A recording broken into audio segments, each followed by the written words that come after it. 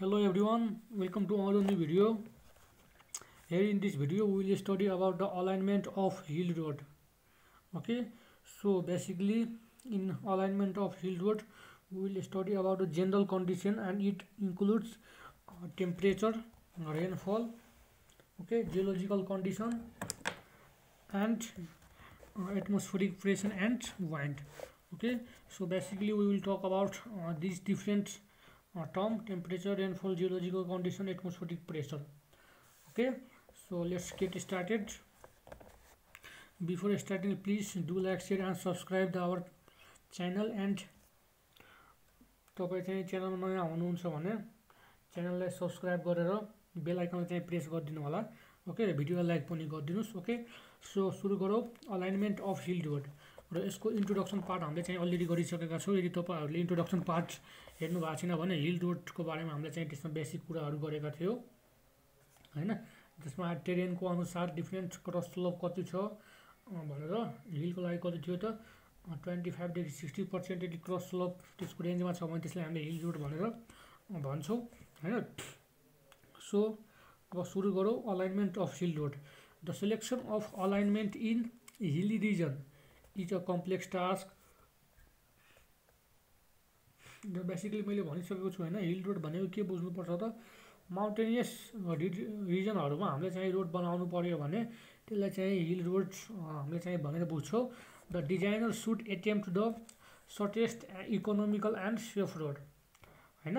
अब हामीले चाहिँ के बुझेका छौँ भन्दाखेरि जुन सिम्पल प्लेनमा जति हामीले चाहिँ रोड बनाउँछौँ भने समतल जग्गामा यदि हामीले माउन्टेन वा हिल रोडहरूमा बनाउनु पऱ्यो भने त्यहाँ चाहिँ के हुन्छ त अप्रोक्सिमेटली हेर्ने हो भने लगभग फिफ्टी टु सिक्सटी पर्सेन्ट जुन हाम्रो कस्ट हुन्छ त्यो चाहिँ के हुन्छ त एक्स एक्सपेन्सिभ हुन जान्छ बढेर जान्छ होइन? त्यही भएर हामीले चाहिँ के गर्नु पऱ्यो त हिल रोड डिजाइन गर्ने बेलामा हामीले चाहिँ सकेसम्म के गर्नु पऱ्यो त सर्टेस्ट डिस्टान्स हुनु पऱ्यो होइन? इकोनोमिकल हुनु पऱ्यो र सेफ रोड हुनु पऱ्यो होइन। त्यो तरिकाले हामीले चाहिँ के गर्छौँ त सेफ रुट हुने खालको चाहिँ रोडहरू डिजाइन गर्छौँ। सो यो यसको लागि चाहिँ हामीले डिफ्रेन्ट डिटेल कुराहरू हेर्छौँ। जसमा फर्स्ट हाम्रो के छ त जेनरल कन्सिडरेसन होइन? जेनरल कन्सिडरेसनमा हामीले चाहिँ के के हेर्छौँ भन्दा यहाँ हेर्न सक्नुहुन्छ a hilly or mountainous area is characterized by a highly broken relief with widely diff different elevation steep slopes होइन? टर्टस ट्विस्ट एन्ड बेन्ड्सहरूको कुराहरू भयो होइन? यिनीहरूलाई चाहिँ हामीले के गर्छौँ त हिली माउन्टेनियस रिजनहरूमा चाहिँ डिफ्रेन्ट तरिकाले चाहिँ त्यसका डिफ्रेन्ट इलिभेसनहरू स्लोपहरूको बारेमा चाहिँ हामीले स्टडी गर्छौँ। And when designing hill road the road is located along valley hill side and if required over mountain pass होइन? अब कुन खालको हाम्रो चाहिँ रिक्वायरमेन्ट छ होइन? त्यो अनुसारले हामीले चाहिँ भ्यालीमा रोड हुन्छ होइन कि भ्याली भएर जान्छ कि हिल भएर जाने हो होइन? माउन्टेनियस रिजन भएर पास हुने हो त्यो डिफ्रेन्ट कुराहरू चाहिँ हामीले त्यहाँ डिजाइन गर्ने बेलामा हेर्छौँ। र survey design and construction of hill road face a lot of difficulties होइन? र अब चाहिँ पाहाडहरूमा रोड बनाउनु पऱ्यो भने अभियसली होइन त्यहाँ चाहिँ डिफ्रेन्ट प्रब्लमहरू चाहिँ हामीलाई फेस गर्नुपर्ने हुन्छ। किन भन्दाखेरि त्यहाँको टोपोग्राफीहरू हेर्ने हो भने होइन त्यहाँको जियोलोजिकल फिचरहरू चाहिँ डिफ्रेन्ट भएको कारणले गर्दा and owing the complex of topography the route route has it in most instances to be artificially increases in length okay? And most of work often has to be carried out in rock using explosive and retaining wall. त्यहाँ चाहिँ हामीले different एक्सक्लुसिभहरू use गरेर ब्लास्टहरू गरेर के गर्नुपर्ने हुन्छ र हामीले चाहिँ रोड बनाउनु पर्ने हुन्छ होइन? त्यही भएर चाहिँ हामीले त्यहाँ डिफ्रेन्ट सेफ्टीहरूलाई पनि ध्यान दिनु पऱ्यो भने डिटेनिङ स्टक वालहरूलाई हामीले बनाउनु पर्ने हुन्छ and unfavourable geological condition such as ल्यान्डस्लाइडको कुरा भयो ट्यालस होइन? Maybe encounter and special structure have to be provided to ensure stability of the road and सेफ्टीको लागि हुने भयो and earthwork for roads va varies from the twelve to sixty thousand cumec per K G okay the cost of construction of hill road is sustainably substantially higher than the cost of roads in plain and region होइन? तपाईँले चाहिँ यो पढेर पनि बुझ्न सक्नुहुन्छ होइन? So यसमा चाहिँ अरू हेर्ने हो भने location of hill road is determined not only by the rate of change of height with distance but also by the configuration of topography in plain होइन टो त्यहाँको मेन भनेको हाम्रो चाहिँ जुन हामीले लोकेसन जुन फिक्स गर्छौँ रोडको होइन? त्यो चाहिँ केमा बेस्ट हुन्छ त भन्दाखेरि टोपोग्राफिक प्लेनहरू प्लानको मा हेरेर होइन? हामीले चाहिँ त्यो अनुसारले पनि त्यसलाई चाहिँ रेट अफ चेन्ज अफ हाइटको के कस्तो छ होइन? त्यसको डिस्टान्सहरू के कस्तो छ त्यो अनुसारले हामीले चाहिँ टोपोग्राफिक प्लेन हेरेर त्यसले चाहिँ डिफ्रेन्ट कुराहरू हामीले त्यसबाट हेर्ने गर्छौँ। र condition becomes very difficult for the selection of suitable alignment भने द भ्याली प्याटर्न टेक्स छ रेडियल फर्म होइन रेडियल फर्ममा भयो भने अझै त्यो डिफिकल्ट हुने जान्छन्। Apart from the relief which has decisive influence on the selection of hill road alignment design and location of structures. Okay? The uh, climatic and geological condition are very important. The higher altitude above sea level uh, typical in most hill road and abrupt discontinues in the topography. Create different climatic condition in the same or adjoining sections. Okay? The geological and climatic conditions differ sustainably from the climatic or geological condition of the adjacent lowland. Hence, while locating the alignment of the uh, flowing consideration should be uh, taken. Okay so त्यसको लागि चाहिँ हामीले अलाइनमेन्टहरू locate गर्नु पऱ्यो भने हामीले चाहिँ different कुराहरू हेर्छौँ जसमा चाहिँ टेम्परेचरको कुरा आयो रेनफलको कुरा आयो जियोलोजिकल कन्डिसनको भयो होइन? एटमोस्फेरिक प्रेसर र वाइन्डको कुरा भयो होइन? यो प्यारामिटरहरूलाई चाहिँ हामीले हेर्छौँ ओके सो अब मेन भनेको बेसिकली हाम्रो चाहिँ यो प्यारामिटरहरूले कसरी इफेक्ट पार्छ भन्ने कुरा छ होइन? सो यो चाहिँ इम्पोर्टेन्ट हुन जान्छ हाम्रो। सो फर्स्ट भनेको हाम्रो के छ? त टेम्परेचर होइन? टेम्परेचरको फर्स्ट कुरा आउने आउने भयो। यसमा के छ त? The temperature of air in hill in the lower than in valley होइन? अब अभियसली कुरा हो होइन? जुन हाम्रो हिल हुन्छ होइन? त्यो हिलमा चाहिँ के हुन्छ टेम्परेचर चाहिँ भ्यालीको भन्दा चाहिँ अलिकति हेर्ने हो भने होइन? भ्यालीभन्दा चाहिँ कम हुन्छ okay? And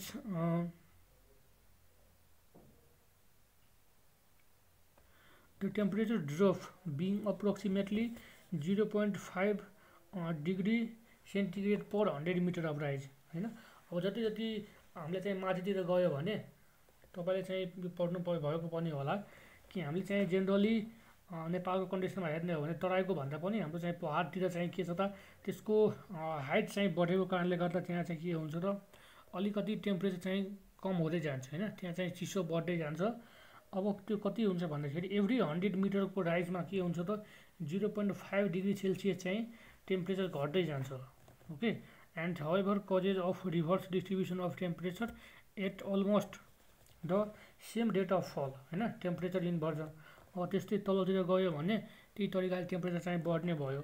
And also are also observe when the denser cold air accumulates in the closer valley and low ल्यान्ड्सहरूको कुरा भयो। टेम्परेचरमा चाहिँ बेसिकली यो कुराहरू आउने भयो होइन एभ्री हन्ड्रेड मिटरको राइजमा के छ त जिरो पोइन्ट फाइभ डिग्री सेन्टिग्रेडले के भइरहेको हुन्छ त टेम्परेचर चाहिँ घटिरहेको हुन्छ होइन सो त्यसले चाहिँ इफेक्ट पार्ने भयो The amount of solar heat received by hill slope varies enormously with their orientation in relation to the exposure to the sun on sloping facing south and southwest snow disappears rapidly and rainwater evaporates quickly okay on a sloping facing uh, north and northeast rainwater or snow may uh, remain for a longer period variation in the moisture conditions accordingly may vary in a wide range depending upon the solar orientation the same condition apply to the formation slope in the cutting and in the filling होइन यो चाहिँ तपाईँले आफै पढेर यो कुराहरू चाहिँ बुझ्न सक्नुहुन्छ होइन? मैले यहाँ देखाइदिइरहेको छु। ओके टेम्परेचरमा मेन कुरा भनेको यही भयो होइन? के कस्तो टेम्परेचरको हाइटले कसरी टेम्परेचरलाई चेन्ज गर्छ त्यो कुरा हामीले चाहिँ बुझ्नुपर्ने हुन्छ होइन? Hilly, uh, in high hilly regions, the movement of warm and cold air streams causes considerably daily temperature fluctuation होइन? जसले गर्दा के हुन्छ त त्यहाँ चाहिँ कोल्ड एयरहरू फ्लोले गर्दा चाहिँ के हुन्छ त टेम्परेचरको चाहिँ फ्लक्चुएसन हुन्छ। Unequal warming slope the sep the sharp temperature variation and the erosion by the water are all causes of slope facing and south and south west suffering the greatest destruction and it is on that side that talus alluvial होइन? र यसरी चाहिँ एलुभियसको कुरा भयो होइन फ्यान्सको कुरा भयो okay and mud flows over and over and avalanches occur on the other hand. These slopes are more favorable for uh, locating a road since they are cleared from now uh, from snow much quicker and groundwater and landslide occur on them less frequently. The alignment to the choose the slope facing north or south must be decided in relation to locate condition and to geological of slopes. General lisation is not feasible होइन so यो कुराहरू चाहिँ हाम्रो केमा आउने भयो त? टेम्परेचरमा आउने भयो। त्यसपछि हाम्रो के छ त? रेनफलको कुरा आउँछ। ओके? टेम्परेचर पछि अर्को हाम्रो चाहिँ इम्पोर्टेन्ट भनेको रेनफल हुने भयो होइन? यसले चाहिँ धेरै नै इफेक्ट पार्ने गर्छ। सो अब चाहिँ रेनफलको बारेमा हेरौँ।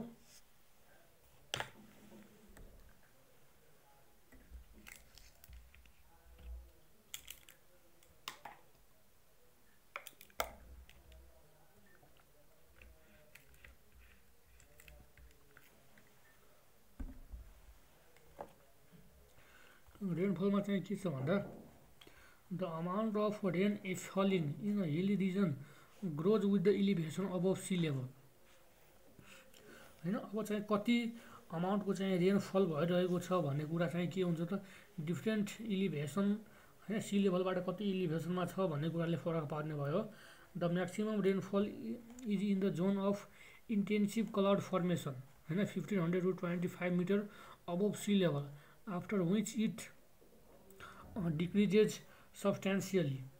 Frequent cloud bursts bring uh, substantial amount of rain in a particular location, whereas there may be not rain in the adjoining sections.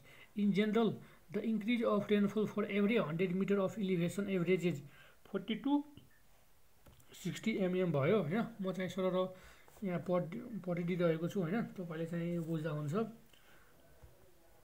The total quantity of rainfall depends on the geographical situation of hilly region and within the region on its deposition in relation to uh, humid winds, hills or mountain range slope which face winds coming in from the sea receive more rainfall than the other side of range.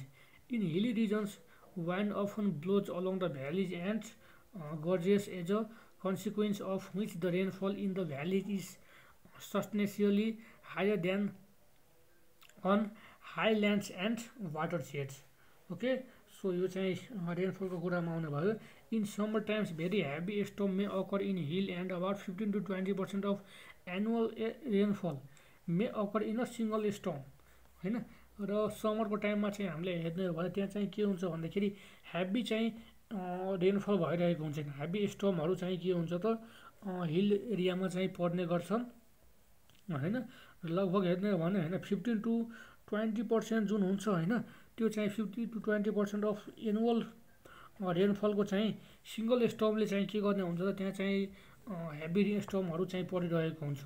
The effect of such heavy rain falls on the construction and maintenance of hill road are serious होइन? अब obvious कुरा हो होइन? Fifteen to twenty percent भन्नुको मतलब होइन एक सालमा जति रेनफल हुन्छ त्यसको फिफ्टी टु ट्वेन्टी पर्सेन्ट एकै ठाउँमा पर्नु भनेको त्यो चाहिँ ठुलो त्यसले चाहिँ इफेक्ट पार्छ होइन? जुन हाम्रो कन्स्ट्रक्सन र मेन्टेनेन्सका कामहरू हुन्छ हिल रोडको होइन? त्यसमा चाहिँ डाइरेक्टली इफेक्ट पार्ने भयो यसले। At many location in hill road the landslide and slip formation of mud stone streams and deposit of debris occur होइन? जसले गर्दा के हुन्छ त ड्रेनेज स्ट्रक्चरहरू हुन्छ त्यसको ओपेनिङहरूमा त्यहाँ चाहिँ इफेक्ट गर्ने गर्छ होइन? डेब्रिज हर आने आने जिस डिफ्रेन्ट फरक पर्ने कुछ भर भैलो ते पच्ची when designing the opening of drainage structure and the approaches to them it is necessary to give regard the local condition and experience gain in the operation of existing structure since customary methods of determining the discharge and calculating the opening are not always applicable है ना? त्यही भएर चाहिँ त्यहाँ डिफ different जुन हाम्रो स्ट्रक्चरहरू हुन्छ होइन? डिटेनिङ स्ट्रक्चरहरू भयो ड्रेनेज सिस्टमका स्ट्रक्चरहरू भयो होइन? इन्भर्टेड जस्तै इन्भर्टेड साइफन कल्भर्ट्सहरू जुन प्रोभाइड गर्छौँ त्योहरूलाई चाहिँ के हुन्छ त त्यहाँको डेब्रिजहरूले होइन? त्यहाँको फ्लोहरूले फरक पार्ने भएकोले गर्दा हामीले चाहिँ रेनफललाई पनि डिटेलमा स्टडी गरेर त्यसका सेफ्टी र प्रकसनहरूलाई चाहिँ हामीले ध्यान दिएर बनाउनु पर्ने हुन्छ त्यो कुराहरू आउने भयो। त्यसपछि अर्को हाम्रो के छ त अर्को इफेक्ट भनेको एटमोस्फेरिक प्रेसर होइन र वाइन्ड्सको कुरा आउँछ। यसले पनि चाहिँ इफेक्ट पार्ने भयो।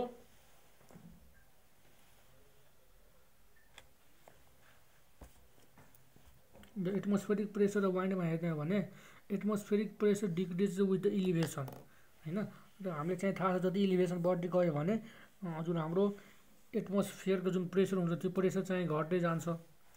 Okay?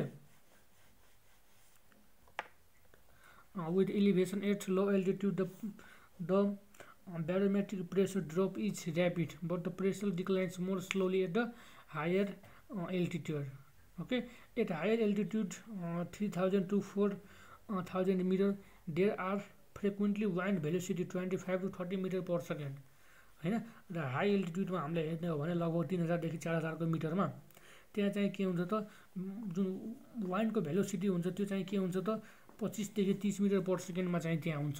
At such altitude the temperature is below the freezing point होइन?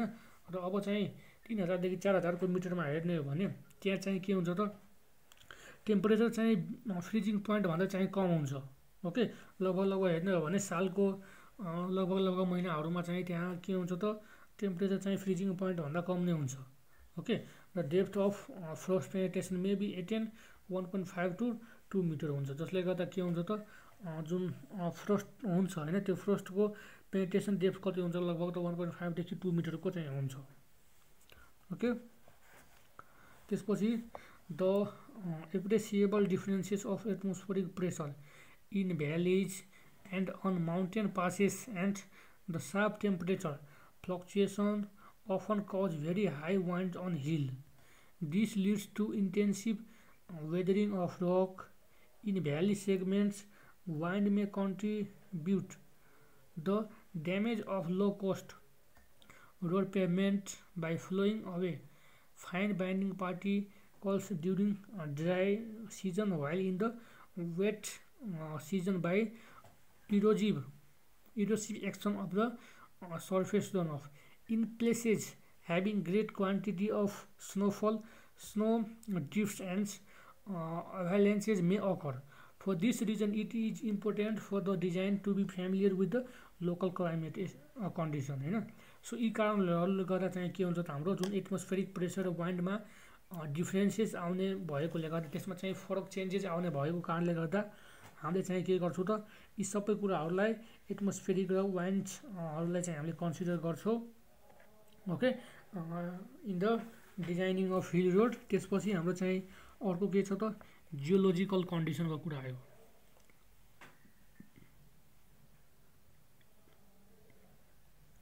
ओके अब चाहिँ हामीले जियोलोजिकल कन्डिसनमा के के पर्छ त्यसको बारेमा पनि stratified sedimentary rock often occurs at as folds which may be concave होइन सिङ्क्लाइन जसलाई भन्छौँ or convex anticline the inclination the inclination of faults may vary from uh, horizontal to almost vertical these faults often have various fault limestone or sandstone faults may be interleaved with layers of shale or clay which when wetted may occur uh, fracturing along their surface होइन जसलाई fault plain भनेर भन्छौँ and this may result in the shear or slip fault होइन यसमा चाहिँ geological कन्डिसनमा चाहिँ के के हुन्छ भन्दाखेरि फल्ट भयो होइन? बेन्ट्रीको कुराहरू भयो होइन? यी कुराहरूले चाहिँ के गर्छ डिफ्रेन्ट त्यसको जियोलोजिकल कन्डिसनहरूलाई चाहिँ हामीले त्यसमा चाहिँ स्टडी गरेर डिपली स्टडी गरेर त्यसको फल्टको कुराहरू भयो फल्ट्सको कुराहरू भयो होइन? त्यहाँ भएका लाइम स्टोन स्यान्ड स्टोनहरूलाई चाहिँ हामीले डिफ्रेन्ट त्यसको लेयरहरूको बारेमा चाहिँ स्टडी गरेर त्यसको जियोलोजिकल कन्डिसनहरूको बारेमा थाहा पाउँछौँ हामीले। Okay the degree of stability of hill slope depend on the type of rock होइन? अब जुन हाम्रो हिल स्लोप जुन हुन्छ होइन त्यसको डिग्री अफ स्टेबिलिटी केमा डिपेन्ड गर्छ त? रकको टाइपमा डिपेन्ड गर्ने भयो होइन? Degree of strata inclination of dip भयो the the orientation of the seams भयो होइन? द हार्डनेस अफ रक भयो and presence of ground water भो है ये सब कुछ में चाहिए डिग्री अफ स्टेबिलिटी चाहिए डिपेंड करने भो when locating the route the engineer must study in detail the geology of the area है and follow stable hill slope with no ground water landslides and unstable falls occur when it is necessary to locate a road along a hill side the dip of strata should be as small as possible and it would be better to locate the road away from such dips. Figure shows the example of structural stability and instability and figure shows some of the example of favorable and unfavorable locations. Of roads with respect to the strata inclination होइन so यो कुराहरू चाहिँ के भयो त हाम्रो geological कन्डिसनमा आउने भयो र जियोलोजिकल कन्डिसनमा हामीले चाहिँ यो कुराहरू हेर्छौँ ओके सो यसरी चाहिँ हामीले डिफ्रेन्ट कन्डिसनहरूको बारेमा चाहिँ यसरी बुझ्न सक्छौँ। ओके? सो यसको चाहिँ हामीले फोल्ड फलको कुराहरू गऱ्यो होइन। त्यसमा चाहिँ यहाँ तपाईँले फिगरबाट पनि हेर्न सक्नुहुन्छ होइन?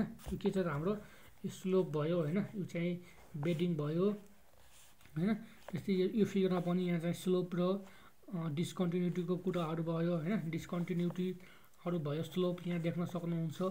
यसरी चाहिँ कुनै पनि स्ट्रक्चर छ भने त्यहाँ चाहिँ यसरी चाहिँ तपाईँले त्यहाँ क्र्याक देख्न सक्छौँ। होइन?